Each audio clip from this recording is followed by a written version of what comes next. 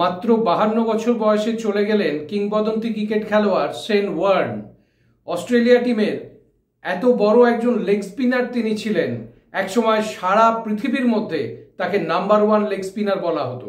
এবং তার লেগ স্পিনের জাদুতে গোটা বিশ্ব পুরো মোহিত হয়েছিল। এই হেন শেন ওয়ার্ন, এত এক বড় একজন প্লেয়ার তিনি হঠাৎ করে মাত্র বাহান্ন বছর বয়সে হার্ট অ্যাটাকে মারা গেলেন।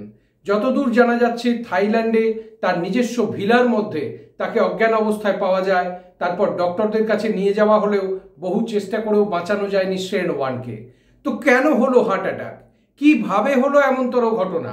চলুন আমরা একটু দেখে নিই ঠিক কী হলো শ্রেন ওয়ানের সঙ্গে। এখানে বন্ধুরা আপনারা দেখতে পাচ্ছেন শ্রেন ওয়ানের নর্মাল হার্ট নর্মাল ছন্দে বিট করছে।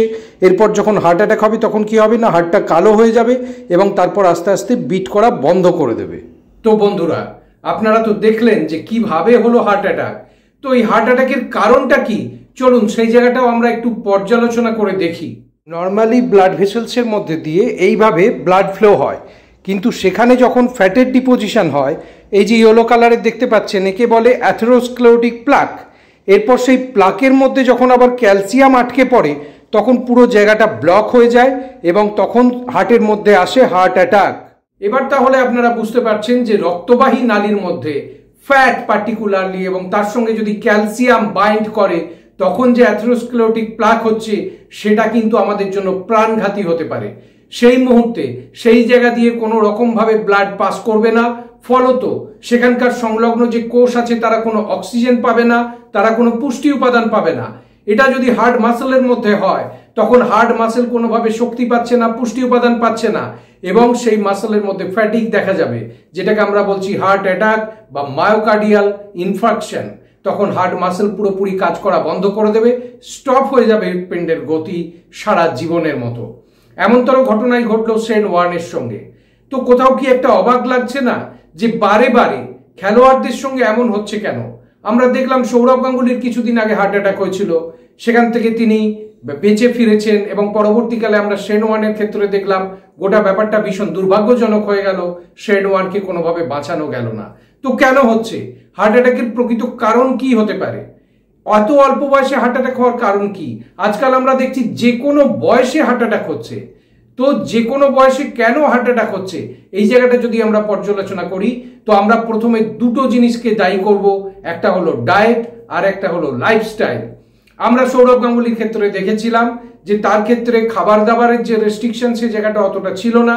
তিনি বিরিয়ানি খেতে প্রচণ্ড পছন্দ করতেন, বিভিন্ন স্পাইসি ফুড অয়েলি ফুড এবং রান্নার তেল যেটা ব্যবহার হতো সেটাও ঠিকঠাক ব্যবহার হতো কিনা সেই জায়গায় ছিল একটা বড় প্রশ্ন চিহ্ন অর্থাৎ কিনা আমরা যে ডেলি ফ্যাট ইনটেক করব, তার মধ্যে যদি saturated fatty acid mono unsaturated fatty acid এবং পলি আনস্যাচুরেটেড ফ্যাটি অ্যাসিডের ব্যালেন্স না থাকে তাহলে কিন্তু হার্ট অ্যাটাকের একটা প্রবল সম্ভাবনা থেকে যায়।